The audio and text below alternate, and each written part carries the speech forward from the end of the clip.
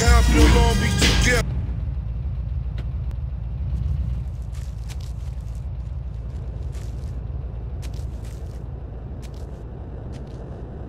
Hey, I'm Katie. You want to go out sometime? Yeah, call me soon. Couldn't even tell me to my face she was